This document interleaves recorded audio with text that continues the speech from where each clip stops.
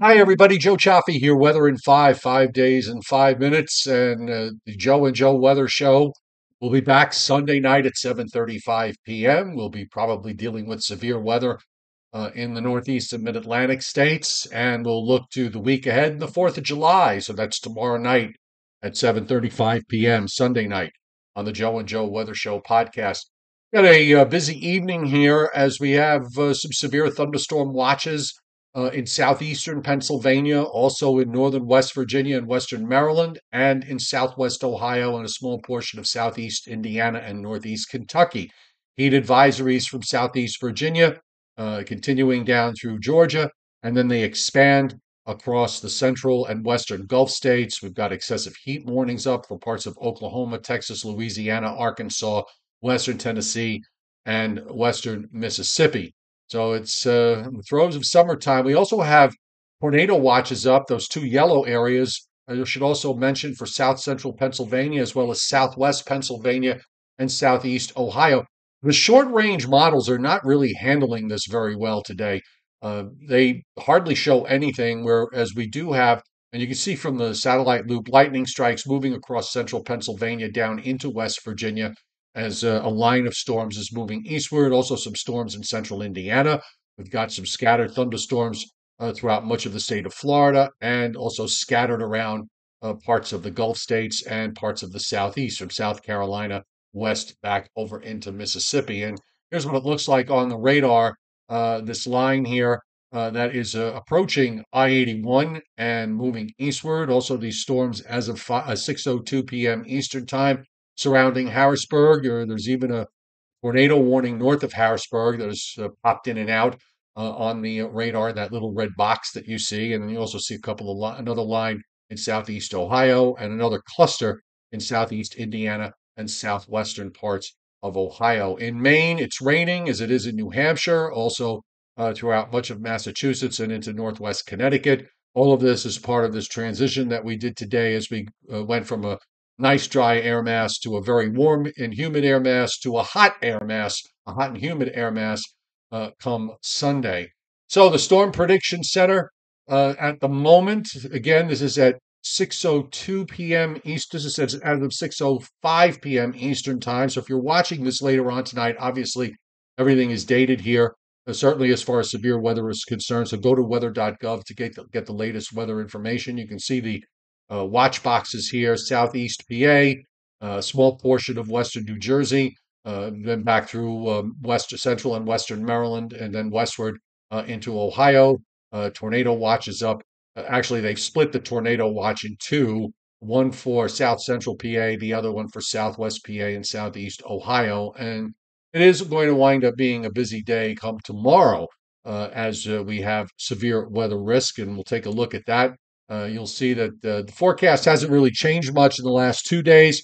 We have a slight risk from Maine to North Carolina, a marginal risk to the west, uh, back through upstate New York and Pennsylvania, uh, into uh, West Virginia, eastern um, Kentucky, eastern Tennessee, and easternmost Georgia. And also up in the plains, we have a marginal to slight risk from Colorado all the way up into Montana we're in one of these situations that if these thunderstorms, if they're moving slowly, they're going to produce to double what the forecast rain amounts are. And for southern and southeastern New England, down into the coastal mid Atlantic, we're looking at anywhere from three quarters of an inch to an inch and a half. Again, locally higher amounts and some heavier storms. Uh, three quarters of an inch to an inch and a half extends down the southeast coast into northern Florida, also even into South Florida. And then we have an area of Heavy rain again, an inch and a half to some two and a half inch amounts. Minnesota to Wisconsin, Iowa, down into Missouri. We know how wet it's been up in the upper Mississippi Valley. It's the complete opposite of where we were last year. So we're going to look at, I'm going to use the GFS because it actually has the better radar representation of what's going on right now as we have uh, this line moving eastward. And what's going to happen is that the line's going to weaken some, but I think enough of it holds together that it impacts uh, parts of New Jersey and southeastern New England. I don't think it's going to be anything crazy, uh, as these thunderstorms will be in weakening mode during the overnight. And then for tomorrow, as we wait for this cold front to come through and the upper trough that goes with it, uh, showers and thunderstorms, and I think we're probably going to see some uh, some pretty strong storms form ahead of this front. The only question in my mind is where they set up and how they set up on the radar. And you can see the GFS actually has a cluster by early afternoon over Long Island, New Jersey, uh, and into Connecticut. And I think that's re- in response to the daytime heating tomorrow morning, which should happen fairly quickly. And we'll see temperatures push up above 90 uh, into early afternoon before any storms develop. And then we'll have the main line go by in the afternoon and evening. And we should also mention, too, that inside that slight risk zone that we showed you, there's also a 2% tornado risk. Once that front goes by, we've got nice dry air coming in for Monday and for Tuesday. Uh, Wednesday will start to turn very warm and humid again.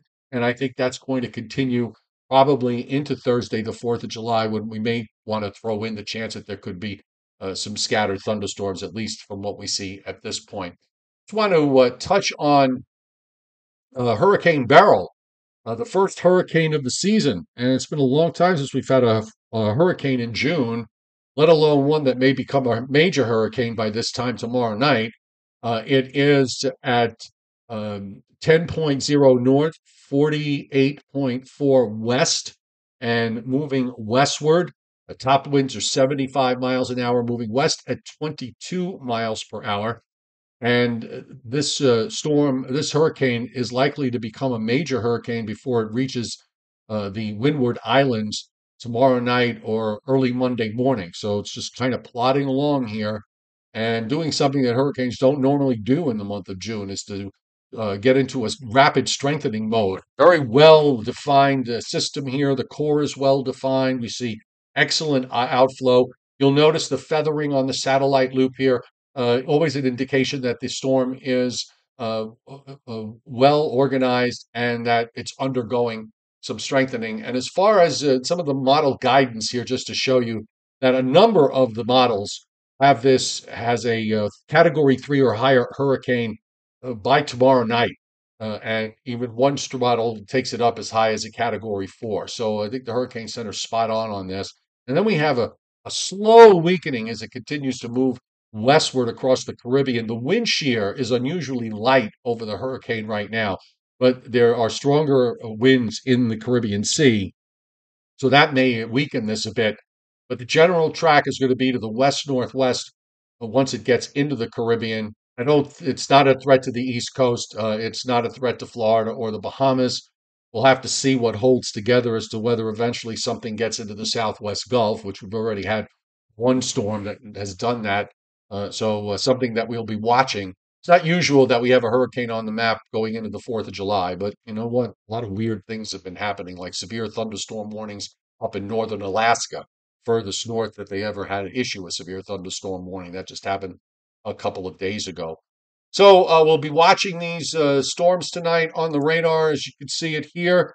Uh, again, just a reminder: the Joe and Joe Weather Show podcast tomorrow, Sunday night at 7:35 p.m. Eastern Time. We'll see you then.